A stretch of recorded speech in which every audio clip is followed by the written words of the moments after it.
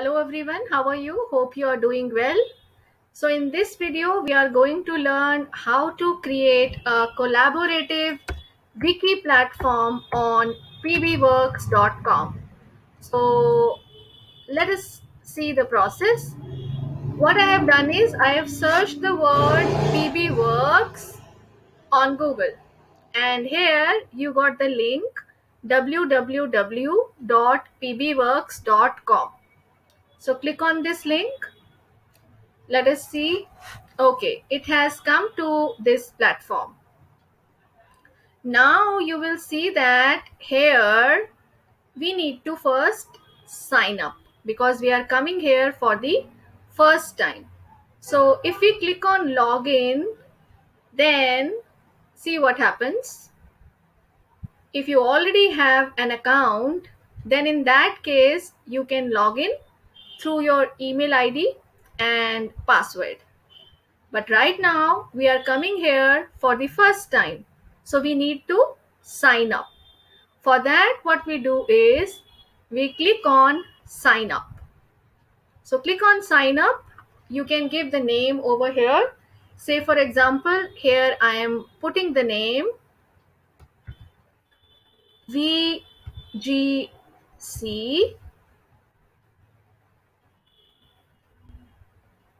and let us put the email ID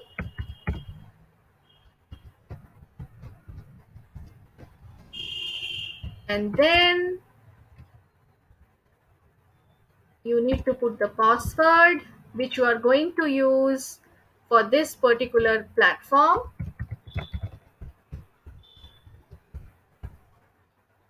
Re-enter the password it, is always nice if you keep the password in which you are using small letters capital letters numbers and some special characters. And see how easy it is to create the account. So this is the first basic step. Okay now it is saying that an account exists for this gmail id right so I'm going back to the login page.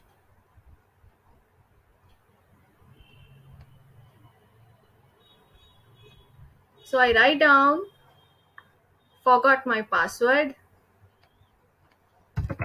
So this is how, if you already have an account and you have forgotten your password, so you can retrieve your password. I'm saying I've put my email ID reset password. And it is saying that uh, it has gone to my email. And it is saying that if you are not seeing it in your inbox please check your junk or spam folder. So go to the email and you will see that you have received an email for resetting the password. Right so we need to reset the password. So click on that link. And here we can set the password. So i'm again repeating that whenever you are setting a password make sure it is a strong password. What do i mean by a strong password? It that means it consists of small alphabets some capital alphabets then uh, some numbers then some special characters and you you should be able to remember that. Okay so i have said reset password.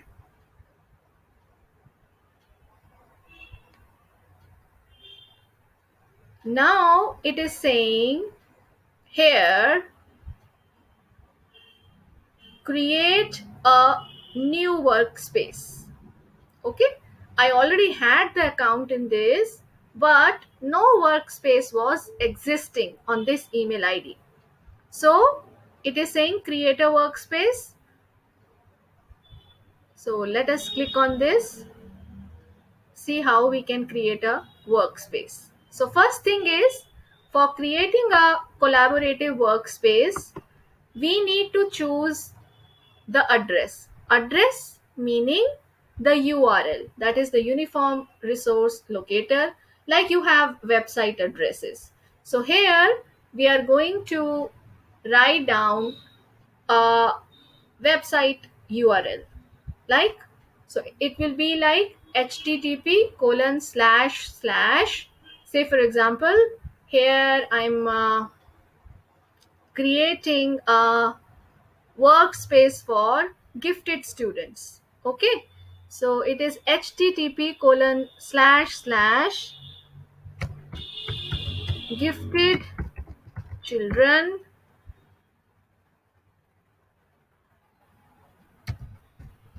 Say for example it is for this trust. I want this name to be written. dot pbworks.com agree to non-commercial use for education. I agree. And then click on next.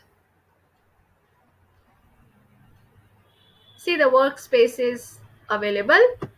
The url is gifted children venkatesh trust dot pbworks.com i agree to the terms and condition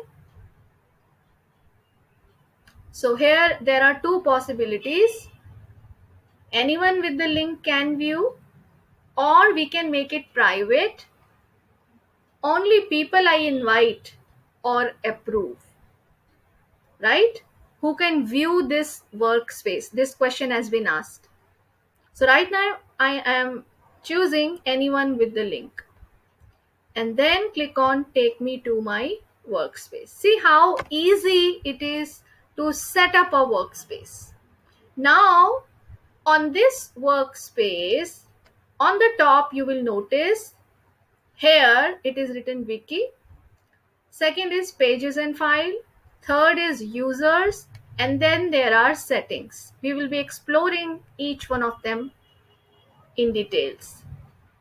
And then some information has been written over there that if you are a citizen of uh, an european union member nation you may not use this service un- unless you are at least 16 years old you have to follow the norms and then finally you can manage your google docs upload and email attachments plus dropbox and slack files in one convenient place उसके लिए लिखा है here claim up free account and in less than 2 minutes then uh, docu from the makers of pbworks can automatically organize your content for you right? Now this is the front page. So you will see that on front page we normally use this front page for the administration or execution purpose of the wiki space so there can be two you know group leaders or a teacher who is managing this workspace. Or there can be a group of three or four people who are managing this workspace as leaders. So uh, there has to be one instruction which should flash on the top and it says that on the front page only editing will be done by so and so people right? And that instruction has to be shared with each and every member so that you follow the netiquettes of working on a workspace. Right? So for editing this page you need to go to edit button. Click on edit. It's a very simple you know place where you have to just do typing and then you you, you are actually familiar with all these tools as you are working on uh, various uh, digital tools. So here it's like any text writing platform. Here also you see that welcome to you can write a message. Welcome to collaborative space and you can write down the name here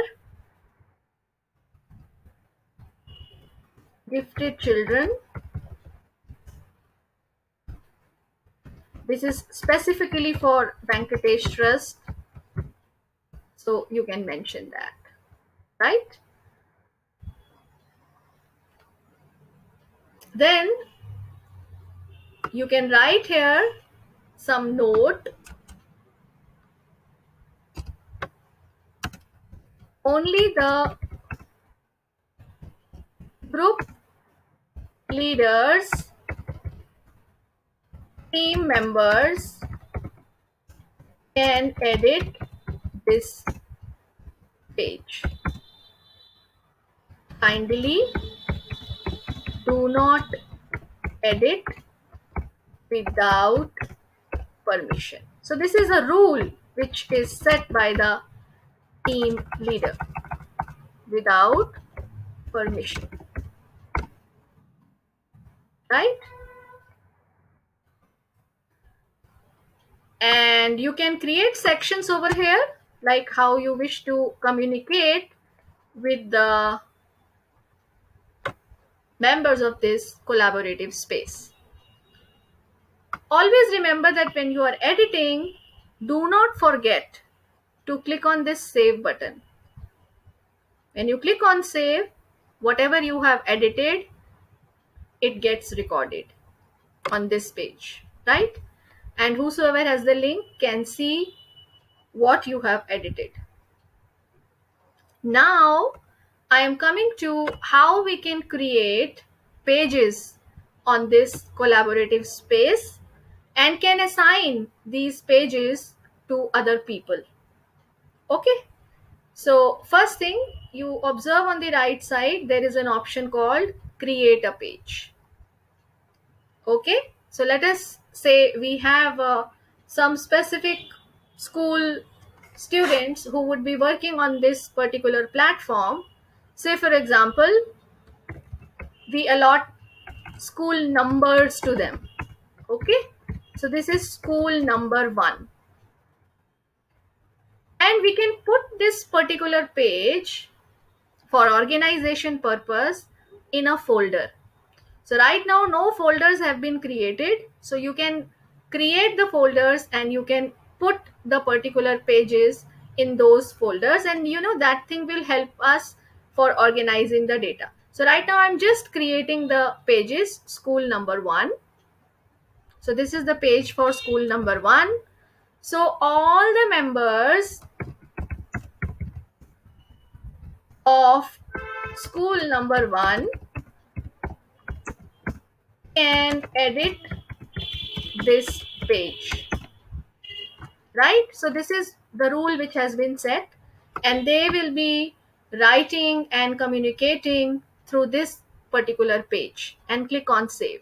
So you see you have one page on this collaborative space. Let us create one more page then we will see what is its importance. See how easy it is to create a page. School number 2 and create a page.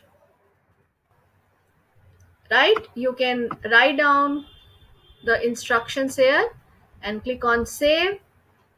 And keep observing on the right hand side that uh, here you are observing that you are getting school number one school number two. This is a navigator right? So you can go to those particular pages from these uh, links also which are created by default. Okay so school, page number two is also ready right? And then you see here i'm coming to the pages and files section here okay right now you can see that we have two pages school number one, school number two, and we worked on front page. And by default, in this workspace, because we are working for education workspace, so they have given meeting agenda, sidebar, course, blank page, activity tracking, and you can delete these pages also if you do not want this. Right? Say, for example, I'm going to front page and here I wish to add links of all the schools right so that I can easily go to their respective school pages so click on edit and here we can write down following schools are a part of this collaborative space. Right? If you wish you can change the size of the text right? And here we are going to add on the names of those schools. So this school number one.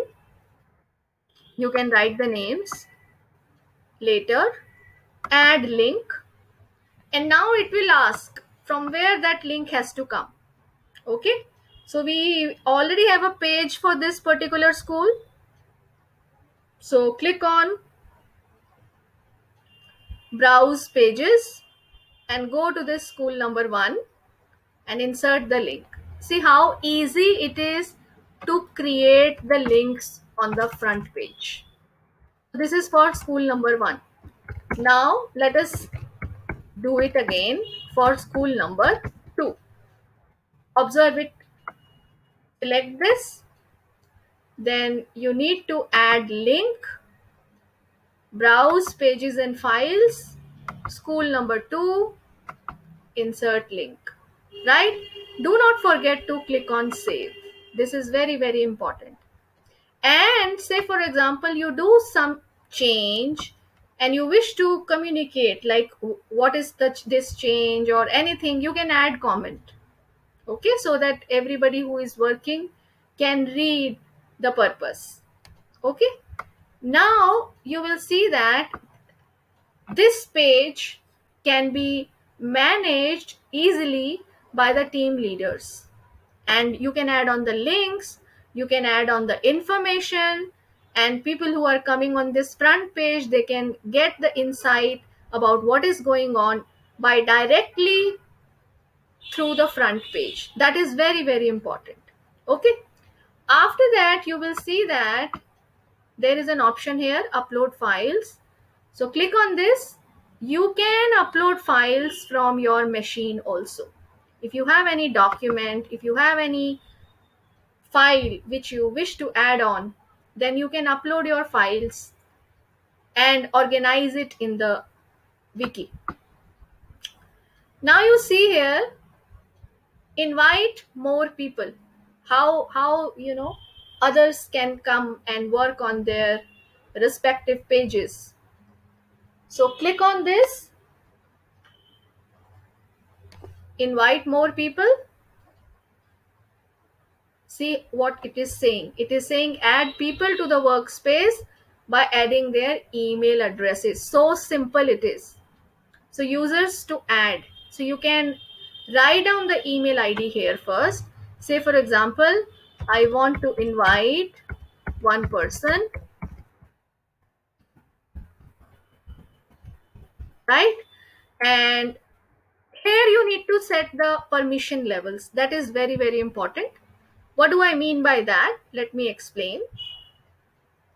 Like I shared with you, there will be some people who would be managing this wiki, the team leader or group members who will be managing the entire collaborative space. So those can be administrator, okay? And you can give editing rights or you can give only the writing rights to the people or even the reading rights to the people or the page level only meaning the specific page so let me give this person editor rights and add user so what will happen this user will receive an invite on their email ID and they will be joining this workspace. I hope it is clear up to this point. So we have learned the about the front page we have learned how to create a new page how to invite the people that we can add files and then i'm again coming to this pages and files and we'll be sharing with you something interesting about organizing the files. Very simple it is. So say for example five schools are primarily working on this collaborative space. So each school can be given one folder right? So we will be writing school number 1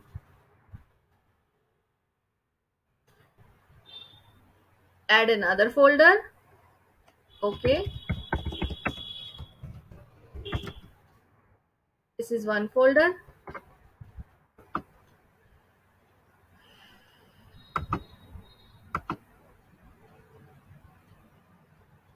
And you can add on these pages you can see that when you click on this page on the right side you see more option.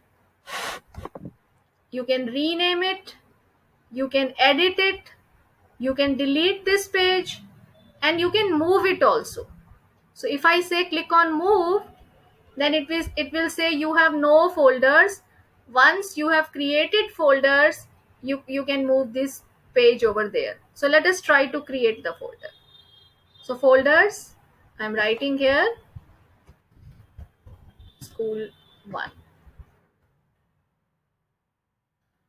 okay. Again add school 2 now understand the difference here. You know you have to be very alert when you are creating the folders. Here you see that hierarchy is important. Here you see that we have created a folder called school 1 and in this there is another subfolder called school 2 which is not correct. Okay so what we will do? Yes we can change its hierarchy and we can place it under folders. We don't want this. Okay so you can move this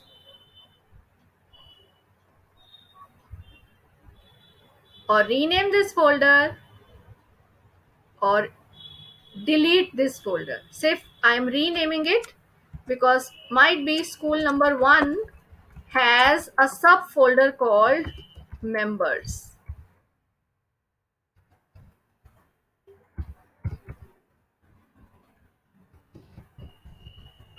and they wish to create some information about it in this subfolder. Now I need to add a folder.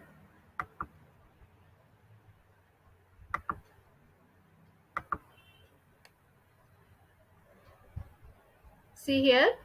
And this is now school 2 i hope it is clear to you. Now you see that both these are at one level. So school 1 has one subfolder in it and this is school 2 you can add the content you can add pages information in this right? So i think uh, then this information is uh, clear to all of you. Using this button you can create a page from here also create a folder from here also. You can upload files by clicking on this right so this is first thing which I wanted to share with you. Now you see I'm coming to this next section which is called users. When you click on users, you will see right now one person is working as administrator and one person has been invited as editor but that person has never visited. So if you receive the invite, accept it, then it will be a particular person will become the member of this collaborative space. And here you will see the information about all those who are working on this workspace. Now coming to the settings. So when you come to the settings part you can describe the wiki that this workspace is specially created for school children who are gifted.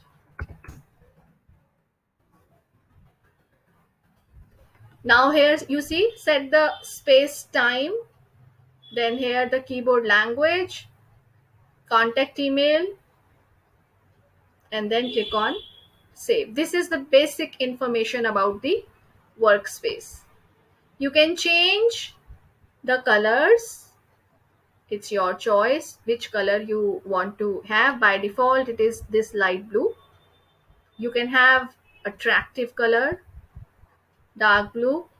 So you can save the color scheme and then you can add on logo if you have a logo you can add on right now access controls in this you can do the workspace security settings.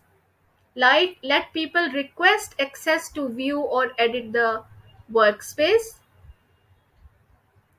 So here anyone who is there on the internet can request access or view. Let the workspace users see the user tab or disable commenting for readers. Like it, it depends on the need, how you wish to do these settings, right? So you can change it like who can view this workspace, like on only people I invite or approve. This is also, you know, very important when we are working with small children. Then in that case, their safety and security is important so we prefer that we invite the authenticate people and approve them to collaborate with the group of people, right?